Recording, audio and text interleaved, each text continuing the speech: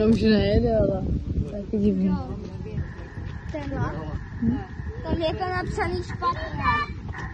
Není, teď už jede zase, on tady zastaví. A už jedeme!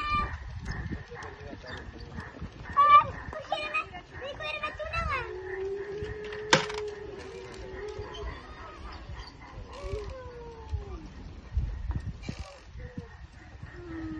Ale si opatrně, to je pro děcka, jo?